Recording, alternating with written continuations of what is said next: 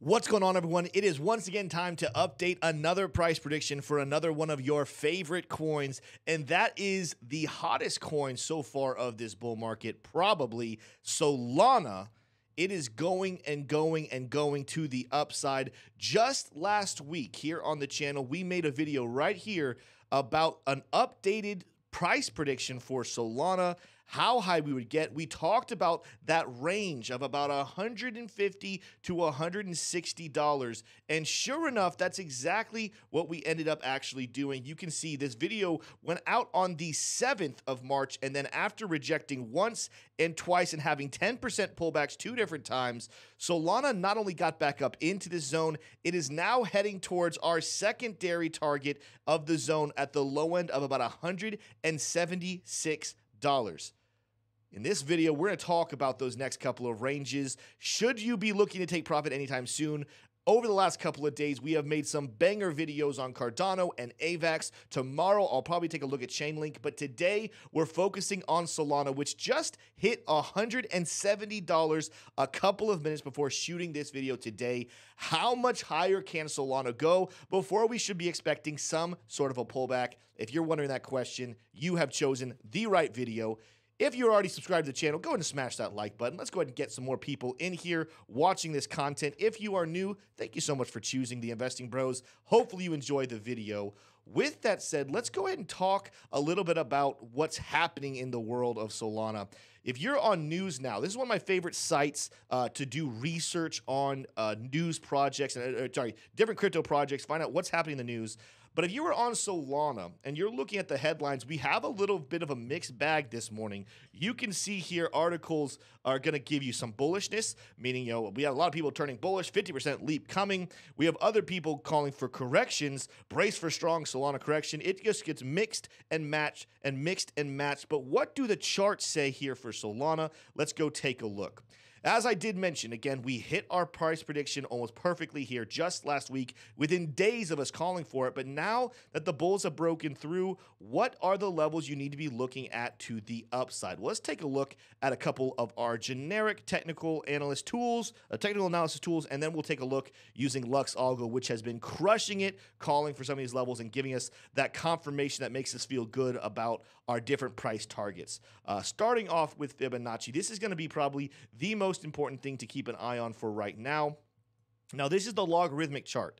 You can see that we are already within the platinum pocket after rejecting on it here back in December. We're squarely into it, and you will see I have a little bit of target here that I highlighted in the last video. If you didn't see it, though, I'll go ahead and highlight it for you.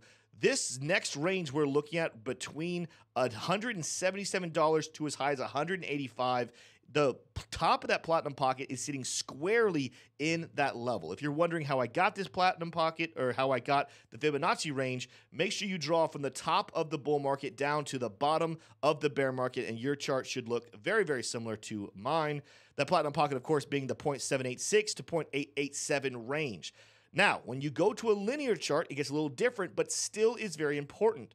You can see that we have now crossed into the golden pocket here on the linear chart, but the bottom of our range, that 177 or 176, is coming in perfectly right there at the uh, bottom level of the zone that we are talking about here, the top of golden pocket to the bottom of the zone. So we're seeing this range right in here. Confirmation about 177, 176. We're seeing a lot of excuse or a lot of reason potentially for 185 just in this range. But there's another thing talking about this uh, level as well, and that would be the order blocks or the uh, liquidation charts over here on Hyblock.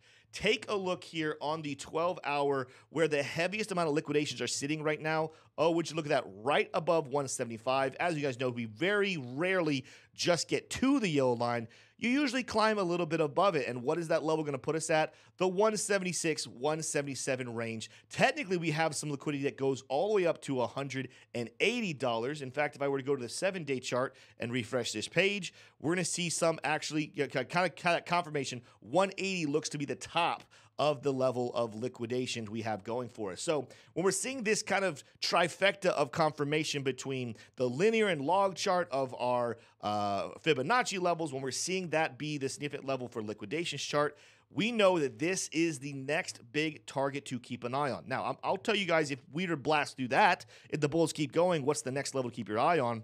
But let's see what Lux Algo is saying. Of course, Lux Algo, partner with the channel, has been crushing it. If you guys are looking to trade or get some added confirmation to your uh, pinpointing price targets for different uh, coins, you guys need to go get Lux Algo. Check out the link down below. Money flow is still flowing very positive with excessive buyers coming in. Now, I will say again, remember, those you watched us use Luxalgo, when you have excessive buyers, at a certain point, when that starts to keel over, it'll keel over fast. And a lot of times there are big dips that come once the big buyers leave the space. But for now, we're ignoring the red reversals. Our momentum is still blasting through, ignoring bearish divergence. The money flow is still well above our threshold, and excessive buyers are still climbing at this point. So, I feel very good about saying the momentum should continue, despite the fact that if I were to come down to the hourly chart, for example, we're probably going to find some more bearishness as we are dropping this morning. You can see under a big bearish candle right now, but that's only when you look at the Titan view. Yes, if I'm looking for a scalping opportunity, uh, by the time you guys see this video, it's probably too late, but it does look on the hourly chart like a scalping short could happen for Solana. But these longer time frames, like the daily chart, show the momentum is still just getting started. That's just the oscillator. So let's take a look at what the indicators are saying to us. Uh, here on the daily chart, we've actually surpassed now our take profit, but the red reversal continues to climb like crazy right here. If I were to come out to the weekly chart, let's see what it is saying for our next move.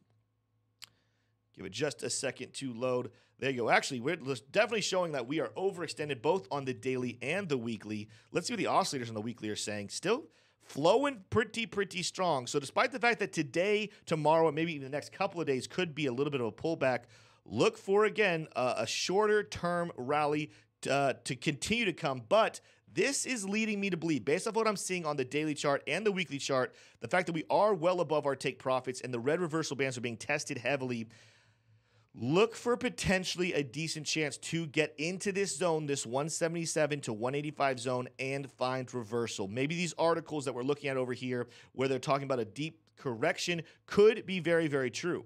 If that were to happen, you guys know my theory based on my other videos that these corrections should come in the form of no more than 50%, realistically, probably something along the lines of 30%. Let's just pretend that the top is already in, and let's see what that would look like. Best case scenario, meaning not a very big dip.